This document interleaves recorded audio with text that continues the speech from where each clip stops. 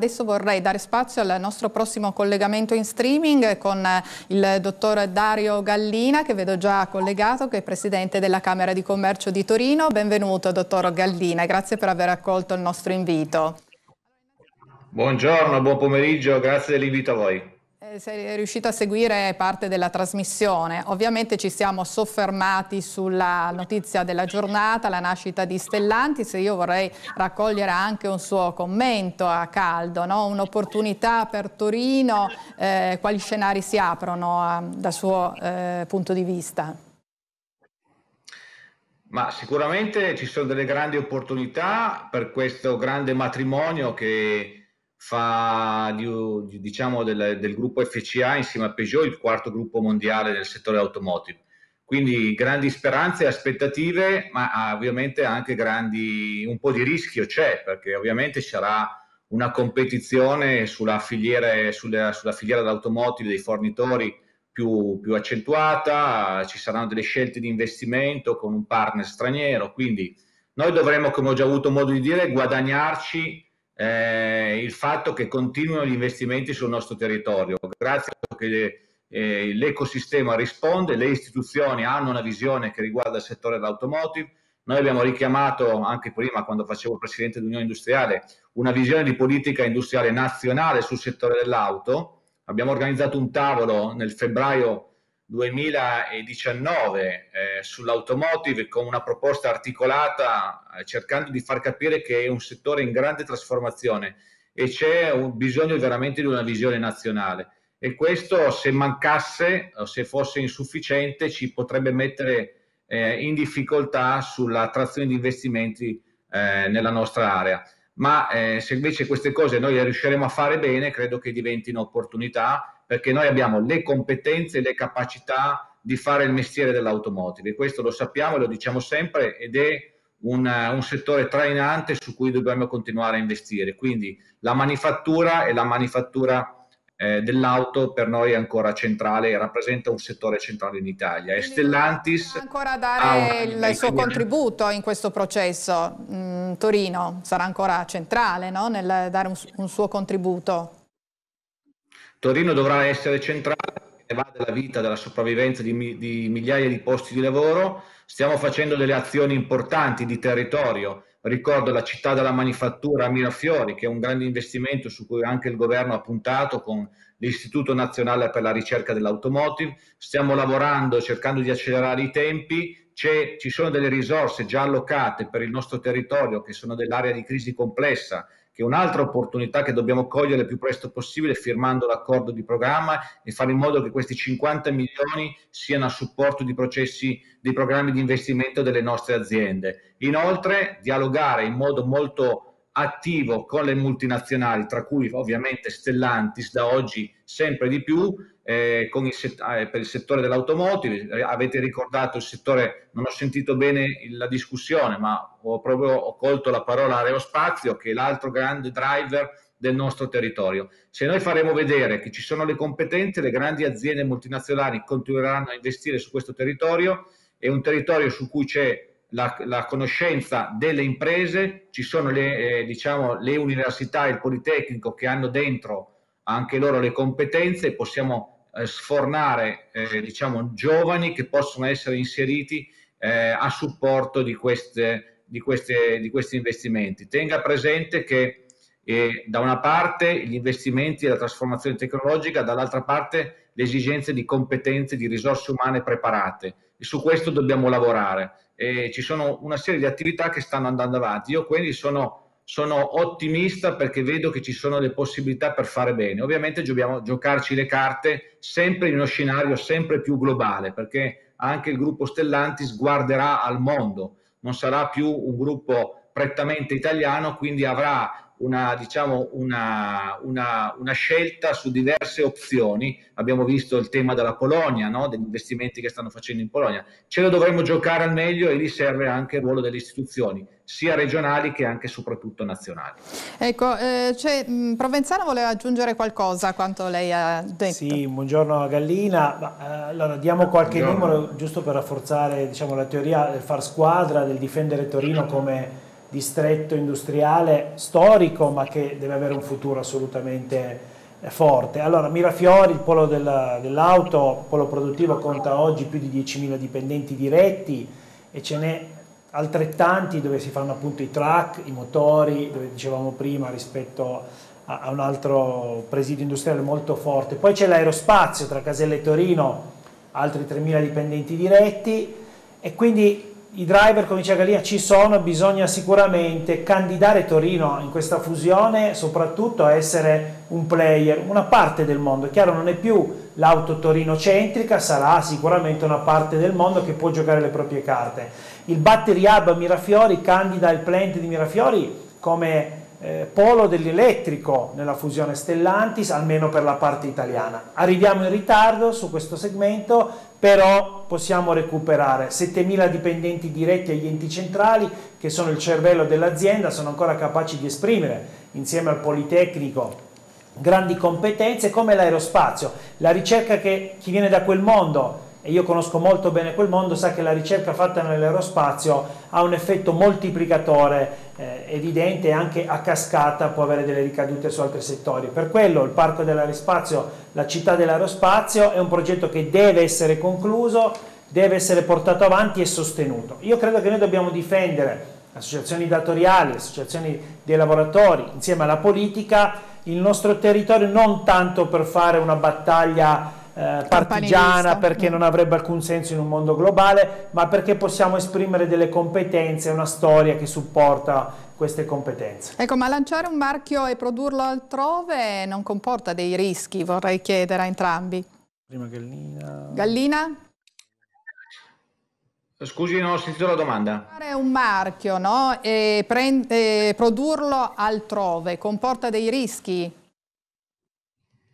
Beh, certamente sì. Eh, non, non, dobbiamo sottrarci alla competizione, quindi noi dobbiamo giocare le nostre carte e a, a Provenzano dico dobbiamo risolvere i problemi importanti della produttività. Il problema che sta mettendo in discussione gli investimenti d'Italia che abbiamo perso decine di punti di produttività. Noi dobbiamo capire perché come l'Italia possa risollevarsi da questo gap di produttività, altrimenti gli investimenti saranno veramente sarà molto complicato attrarre gli investimenti. Il ruolo del sindacato e ovviamente degli imprenditori con gli investimenti sarà fondamentale. Eh, il recovery plan io spero che possa dare una spinta eh, agli investimenti, ma l'Italia deve cambiare un po' il suo DNA, DNA di come ha affrontato questi temi negli ultimi periodi e dobbiamo farlo tutti insieme perché eh, dobbiamo cambiare anche alcune metriche con cui si è dialogato negli ultimi, negli ultimi anni, cercando di guardare a quello che noi riusciamo a portare a casa tutti insieme. Ormai è un lavoro che veramente dobbiamo farlo come squadra paese e sarà difficile perché partiamo svantaggiati. Quindi eh, benvengano gli aiuti eh, dell'Europa, dello Stato, ben vengano questi accordi di multinazionali che, come ripeto, guardano al mondo, ma la responsabilità sta anche nel creare le condizioni che gli investimenti attecchiscano le scelte dei manager possono essere orientati verso il nostro paese. Non abbiamo molte carte da giocare in questo momento, non abbiamo l'attrattività fiscale, se non in particolari casi se riusciamo a fare dei programmi specifici, come dicevamo, l'area di crisi complessa, con aiuti e, so- e supporto. Non abbiamo, per esempio, la carta da giocare sui costi energetici. Non abbiamo un modello burocratico efficiente. Immaginate quante zavorre noi abbiamo ai nostri piedi. Quindi continuiamo a essere ottimisti, continuiamo a, di, a dire che l'area di Torino e del Piemonte ha le carte in regola come competenze, ma abbiamo tanti, tanti, diciamo, lacci e lacciuoli che dobbiamo sciogliere perché gli investimenti se no verranno orientati verso altri paesi. E questo lo farà anche chi sarà alla guida di Stellantis, guarderà all'Italia, ma guarderà anche alla Francia e all'Europa o anche negli altri paesi dove sarà più conveniente produrre. Eh, un'altra cosa importante ovviamente sarà di trattenere almeno al minimo la testa pensante della progettazione, questo è un tema molto importante, noi dobbiamo assicurare che a Torino rimanga ancora la progettazione, la testa pensante, ma non saremo l'unico centro di sviluppo, di progettazione del gruppo, ce ne saranno altri e anche lì si svilupperà una competizione che dovremo sapere affrontare, facendo vedere che c'è uno stretto legame nel territorio tra università, imprese e istituzioni. lo stiamo facendo con la città della manifattura, la città dell'aerospazio, eh, sapremo, sappiamo che ci vorrà almeno due o tre anni per realizzarlo, ma dobbiamo partire subito con questi programmi che utilizzano anche risorse del governo che ha messo a disposizione. Quindi è fondamentale che i bandi per l'area di crisi complessa sull'automotive e l'aerospazio partano al più presto possibile, in modo che le aziende sappiano che avranno un supporto almeno diciamo, di una parte dei loro investimenti che sarà eh, sostenuto da risorse pubbliche.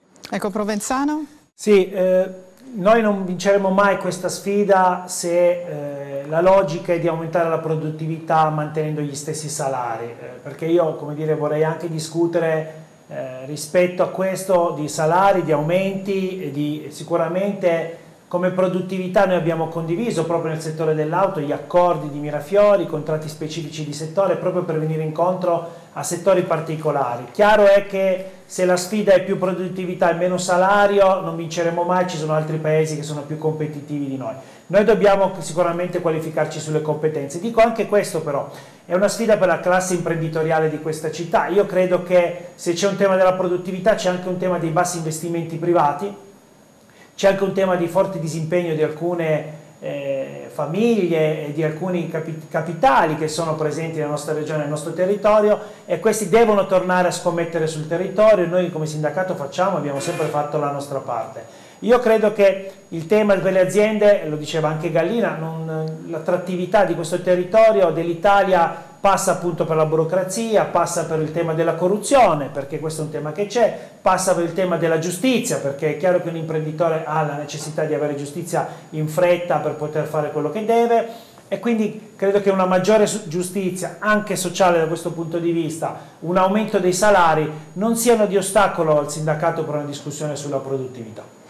Dottor Gallina, ehm, ci eravamo anche ripromessi di parlare di una importante iniziativa che vede coinvolta la Camera di Commercio di Torino, la palestra digitale, questa iniziativa che è tornata a partire dal mese di gennaio, un'iniziativa che ha riscosso sicuramente tanto successo, si tratta di pillole no? informative per le imprese, per tenersi aggiornate, per insomma, eh, non stare sempre al passo con i tempi, Tra, perché è proprio importante, come abbiamo detto anche nel corso della nostra chiacchierata, la, la formazione, no? tenersi per le, per le, imprese sempre aggiornate e, e formate.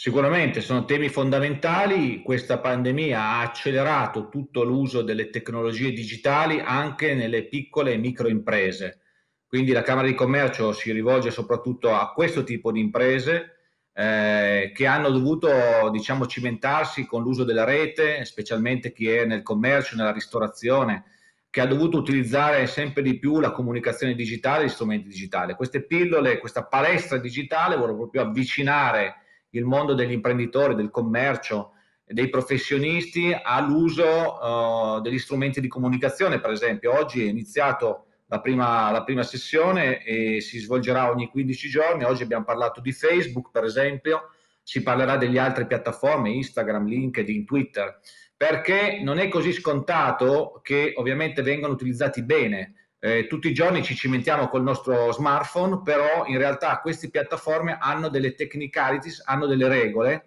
che ne permettono di aumentare l'efficacia. Quindi saper usare bene questi strumenti è fondamentale anche eh, e sempre di più nel lavoro delle nostre microimprese. Sono corsi gratuiti, sono pillole che si svolgono nell'ora, diciamo, alle 12.30 ogni 15 giorni, eh, gratuitamente offerte dalla Camera di Commercio tra l'altro le aziende che vogliono poi approfondire avranno un supporto eh, più specializzato, specialistico da parte dei punti impresa digitale eh, a cui offriamo un supporto per eh, l'investimento nelle tecnologie digitali.